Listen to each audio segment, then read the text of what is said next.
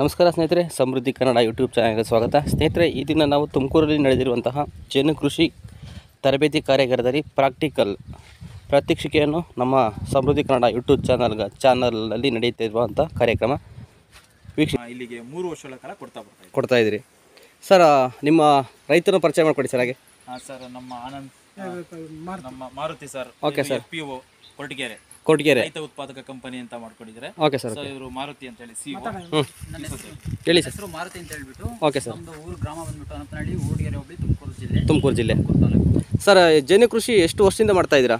ನಾವು ಸರ್ ನನ್ನ ನಾನು ಬಂದು ಒಂದು ಗ್ರಾಮ ಚೇತನ ರೈತ ಉತ್ಪಾದಕರ ಕಂಪನಿ ಲಿಮಿಟೆಡ್ನಲ್ಲಿ ಸಿಇಒ ಆಗಿ ಕೆಲಸ ಮಾಡ್ತಾ ಇದ್ದೀನಿ. ಮುಖ್ಯ ಕಾರ್ಯನಿರ್ವಹಣಾಧಿಕಾರಿಯಾಗಿ ಕೆಲಸ ಮಾಡ್ತಾ ಇದ್ದೀನಿ. ಓಕೆ. ಸುಮಾರು ನನಗೆ ಎಂಟುನೂರ ಐವತ್ತರಿಂದ ಒಂಬೈನೂರು ಜನ ನಮ್ಮ ಕಂಪನಿಗೆ ನೋಂದಣಿ ಆಗಿದ್ದಾರೆ.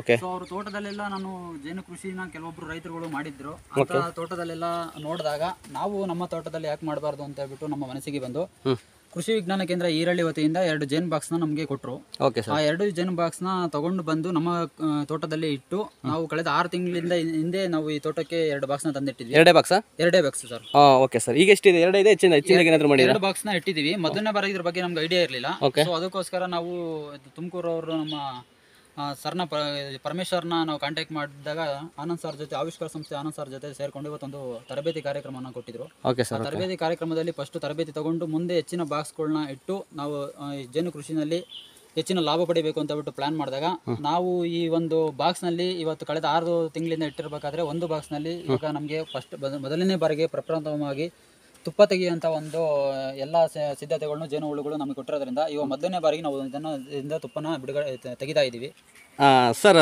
ಈಗ ಜೇನು ಕುಟುಂಬ ತಂದಿಟ್ಟಿದ್ದೀರಿ. ಈ ಒಂದು ಜೇನು ಕುಟುಂಬ ನೀವು ಇದರಲ್ಲಿ ಅಮೌಂಟ್ ಮಾಡಬೇಕು ಅಂತ ಮಾಡಿದಿರಾ ಅಥವಾ ಬೆಳೆಗೆ ಏನಾದರೂ ಯೂಸ್ ಆಗುತ್ತೆ ಅಂತ ಮಾಡಿದಿರಾ ಬೆಳೆ ಇಳುವರಿ ಅಡಿಕೆ ತೋಟ ನಮ್ಮಲ್ಲಿ ಮುನ್ನೂರು ಗಿಡ ಅಡಿಕೆ ತೋಟ ಅಡಿಕೆ ಬೆಳೆ ಇರೋದ್ರಿಂದ.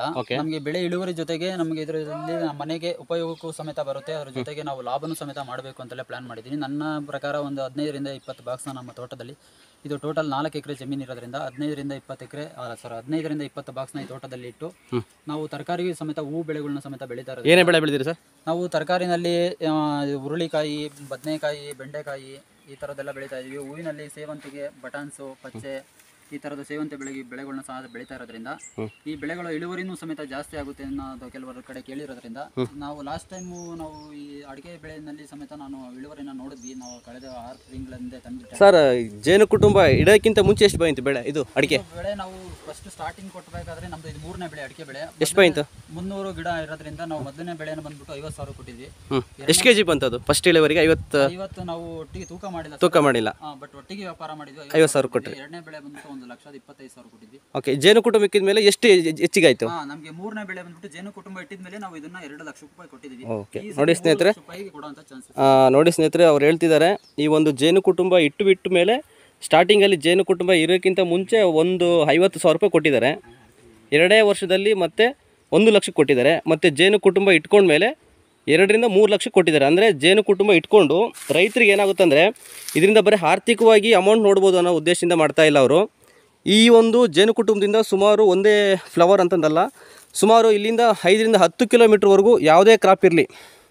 ಅಡಿಕೆ ಆಗಿರ್ಬೋದು, ತೆಂಗು ಆಗಿರ್ಬೋದು, ಟೊಮೊಟೊ ಮತ್ತು ಇದು ಹೂವಿನ ಗಿಡಗಳು ಪ್ರತಿಯೊಂದು ಏನೋ ತರಕಾರಿ ಗಿಡ ಆಗಿರ್ಬೋದು, ಮತ್ತು ಹಣ್ಣಿನ ಗಿಡಗಳಾಗಿರ್ಬೋದು ಪ್ರತಿಯೊಂದು ಹೂವಿನಿಂದ ಪರಾಗಸ್ಪರ್ಶ ಏನು ಜೇನುಹುಳು ತರುತ್ತೋ ಅಲ್ಲಿ ಈ ಜೇನು ಕುಟುಂಬದಿಂದ ಆರ್ಥಿಕವಾಗಿ ಸಬಲರಾಗ್ಬೋದು, ಮತ್ತು ಅದೇ ರೀತಿಯಾಗಿ ಈ ಒಂದು ಬೆಳೆಯಲ್ಲಿ ಬರುವಂತಹ ಕ್ರಾಪು ಈಲ್ಡು ಏನು ಕಾಯಿ ಜಾಸ್ತಿ ಆಗುತ್ತೋ ಆ ಒಂದು ಉದ್ದೇಶದಿಂದನೂ ಸಹಿತ ಈ ಒಂದು ಜೇನು ಕುಟುಂಬ ಇಟ್ಕೊಂಡ್ರೆ ರೈತರಿಗೆ ತುಂಬ ಅನುಕೂಲ ಆಗುತ್ತೆ ಅಂತ ಹೇಳ್ತಾ ಹೇಳೋಕೆ ಇಷ್ಟಪಡ್ತಾ ಇದ್ದೀನಿ. ಮತ್ತೆ ಹೇಳಿ ಸರ್ ಮತ್ತೆ ಅನುಭವ ನಿಮ್ಮ ಅನುಭವ ಅಂತ ಬಂದ್ರೆ ಇದು ಮೊದಲನೇ ಬಾರಿ ನಾವು ತೆಗಿತಾ ಇದ್ದೀವಿ ಸರ್. ಇದೇ ತರದ ನಾವು ಬಾಕ್ಸ್ಗಳನ್ನ ಬಾಕ್ಸ್ಗಳನ್ನ ಇದನ್ನ ಮುಂದೆ ಮಾಡಿಕೊಂಡು ಒಂದು ಹದಿನೈದರಿಂದ ಇಪ್ಪತ್ತು ಬಾಕ್ಸ್ಗಳನ್ನ ನಮ್ಮ ಜಮೀನಲ್ಲಿ ಇಟ್ಟು ಇದರಿಂದ ಲಾಭ ಇಳುವರಿ ಜಾಸ್ತಿ ಮಾಡಬೇಕು ಅಂತ ಹೇಳ್ಬಿಟ್ಟು ನಮ್ಮ ನೋಡಿ ಸ್ನೇಹಿತರೆ ಅವರೇನೇ ಎರಡು ಇಟ್ಕೊಂಡಿದ್ದಾರಂತೆ ನೆಕ್ಸ್ಟ್ ಮುಂದಿನ ದಿನಗಳಲ್ಲಿ ಹದಿನೈದರಿಂದ ಇಪ್ಪತ್ತು ಬಾಕ್ಸ್ನ ಇಟ್ಕೊಬೇಕು ಪ್ಲಾನ್ ಮಾಡಿದ್ದಾರೆ ಅಂದರೆ ಅವರಿಗೆ ಪ್ರಮುಖವಾಗಿ ಈಲ್ಡ್ ಇಳುವರಿ ಜಾಸ್ತಿ ಬರುತ್ತೆ ಎಂಬ ಉದ್ದೇಶದಿಂದ ಇಟ್ಕೊಂಡಿದ್ದಾರೆ. ಮತ್ತು ಜೇನುತುಪ್ಪನೂ ಸಿಗುತ್ತೆ. ಅವರು ಒಂದು ಪರಮೇಶ್ವರ್ ನೋಡ್ಬೋದು. ಜೇನು ಕುಟುಂಬನ ಇಟ್ಕೊಂಡಿದ್ದಾರೆ ಕೈಯಲ್ಲಿ. ಪ್ರತಿ ಒಂದು ವಿಡಿಯೋನೂ ಒಂದು ಲೈವಲ್ಲಿದೆ ರೈತರಿಗೆ ತುಂಬ ಇಷ್ಟ ಆಗುತ್ತೆ ಅಂತ ಅಂದ್ಕೊಂಡಿದ್ದೀನಿ ಓಕೆ ಓಕೆ ಸರ್ ಅದೇನಂತಾರೆ ಅದಕ್ಕೆ ಏನಂತಾರೆ ಹೆಸರು? ಜೇನು ರೊಟ್ಟಿ. ಟಾಪ್ ಬಾಕ್ಸ್ ಇದು ನಾವು ಸಂಸಾರ ಕೋಣೆ. ಓಕೆ ಓಕೆ ಅದು ಸಂಸಾರ. ಇದು ಸಂಸಾರ ಕೋಣೆ ಅಂತ ಇದು ಸಂಸಾರ ಕೋಣೆ. ಓಕೆ ಸರ್ ಜೇನುತುಪ್ಪ ತೆಗೆಯುವಂತಹ ಕೋಣೆ. ಕೋಣೆ. Okay sir okay okay okay ಇದು ಸ್ಟ್ಯಾಂಡ್ ಇದು ತುಪ್ಪದ ಕೋಣೆ ಅಂತ ತುಪ್ಪದ ಕೋಣೆ ಅಂತ ಕರೀತಾರೆ. ಓಕೆ ಸರ್ ಸರ್ ಅದರಲ್ಲಿ ಎಷ್ಟು ಇದು ಸ್ಟ್ಯಾಂಡ್ ಸ್ಟ್ಯಾಂಡ್ಸ್ ಇದೆ? ಸರ್ ಇದರಲ್ಲಿ ಎಂಟು ಫ್ರೇಮ್ಗಳು ಬರ್ತವೆ. ಎಂಟು ಫ್ರೇಮಲ್ಲೂ ಸುಮಾರು ಎರಡು ಫ್ರೇಮ್ ಮಾತ್ರ ಖಾಲಿ ಇದೆ. ಓಕೆ ಸರ್ ಇನ್ನು ಆರು ಫ್ರೇಮ್ ಕೂಡ ಫಿಲ್ ಆಗಿದೆ.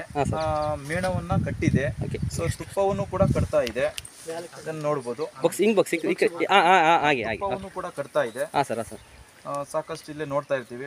ಇದರಲ್ಲಿ ಹೆಣ್ಣು ಹುಳನೇ ಸಾಕಷ್ಟು ಸಂಖ್ಯೆಯಲ್ಲಿ ಇದೆ ಅಂತ ಕೂಡ ನಾವು ಇದರಲ್ಲಿ ನೋಡ್ತಾ ಬರ್ತಿದ್ದೀವಿ. ಇಲ್ಲ ಇಲ್ಲ ಹೆಣ್ಣು ನೋಡಿ ಸ್ನೇಹಿತರೆ ಈ ಒಂದು ಜೇನು ಕೃಷಿ ಹೆಣ್ಣು ಹುಳನೇ ಬೇರೆ. ಜೇನು ಕೃಷಿಯಿಂದ ಆರ್ಥಿಕವಾಗಿ ಸಬಲರಾಗ್ಬೋದು ಮತ್ತೆ ಈಲ್ಡ್ನ ಜಾಸ್ತಿ ಆಗ್ಬೋದು. ಇಲ್ಲಿ ಕಾಣ್ತಿರ್ತಕ್ಕಂಥ ಎಲ್ಲವೂ ಕೂಡ ಹೆಣ್ಣು ಹುಳ. ಓಕೆ. ನೀವು ರಾಣಿ ಹುಳ ಅಂತ ಹೇಳಿದ್ರಲ್ಲ ಅದು ದಪ್ಪ ಇರುತ್ತೆ ವಿಶೇಷವಾಗಿರುತ್ತೆ.